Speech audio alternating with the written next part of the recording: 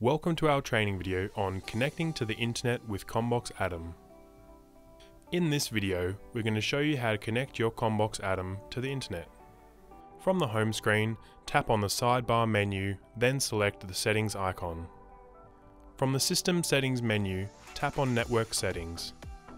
If you're connecting via Wi-Fi, tap on the wireless tab, then toggle on Wi-Fi.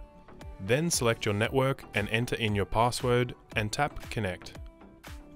If you're connecting via Ethernet, tap on Ethernet, then toggle on. Select Auto if you want to obtain the IP address automatically, or Static if you want to put in your own IP address.